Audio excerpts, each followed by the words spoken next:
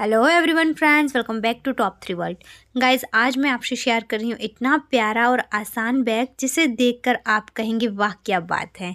तो इसके लिए देखिए, मैंने 25 इंच लंबाई का और 10 इंच चौड़ाई का एक कपड़ा लिया है और उसी के साइज़ का फोम लिया है और अस्तर ले लिया है। अगर आपके पास फोम नहीं है तो आप यहाँ पर राइस बैग या फिर बुकरम या फिर जो कैरी बैग आती है नॉन वन के, उसका यूज़ कर सकते हैं। और फोम को बीच में रखकर, अस्तर को नीचे रखकर मैंने इस तरीके से तीनों को अटैच कर लिया है।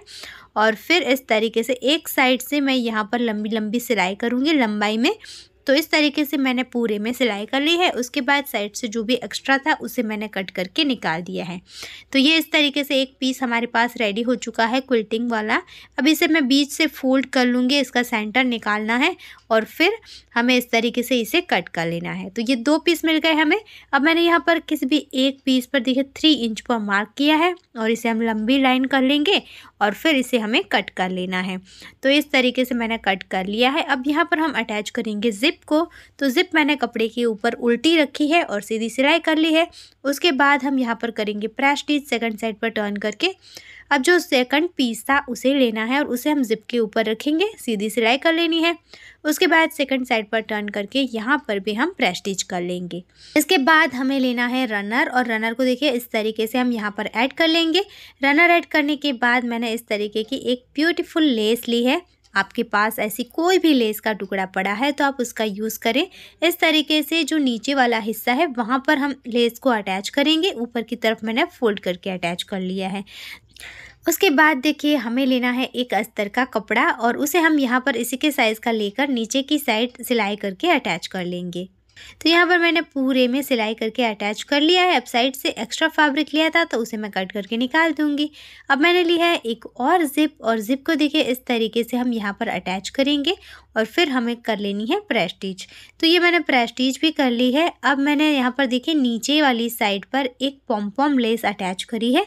अगर आपके पास लेस नहीं है तो आप छोटे छोटे पॉम बनाकर पूरा बैग रेडी करने के बाद अटैच कर सकते हैं। या तो फिर आप टैसल्स भी यहाँ पर अटैच कर सकते हैं। अब मैंने एक स्ट्रिप ली है फोर इंच चौड़ाई की और इसे देखिए हम इस तरीके से फोल्ड कर लेंगे। तो ये पूरा हमारा बेल्ट रेडी हो चुका है और इसका जो मेज़रमेंट है वो मैंने लिया है फिफ्टी टू इंच आप यहाँ पर अपने हिसाब से कम या ज़्यादा कर सकते हैं। तो इस तरीके से ये मैंने बेल्ट को रेडी कर लिया है कपड़े से। आप चाहें तो कोई रेडीमेड डोरी भी मार्केट से ले सकते हैं, पर यहाँ पर कपड़े का बेल्ट बहुत ज़्यादा अच्छा लगेगा। तो इस तरीके से देखिए जिप के ऊपर बेल्ट को हम रखेंगे, दोनों साइड से वन वन इंच जितना छोड़कर और फिर अटैच कर लेंगे। अब मैंने लिया है इसका सेकंड पीस और उसे देखिए इस तरीके से हम यहाँ ऊपर रखेंगे जिप के ऊपर। और इस तरीके से अटैच कर लेना है। दोनों राइट साइड अंदर की तरफ़ रखेंगे और फिर देखिए सेकंड साइड पर टर्न करके जिप के ऊपर हम प्रेस स्टिच कर लेंगे। तो ये इस तरीके से रेडी हो चुका है। बेल्ट को हमें बीच में रखना है और फिर इस तरीके से हम सेट करेंगे राइट साइड अंदर की तरफ़ रखते हुए।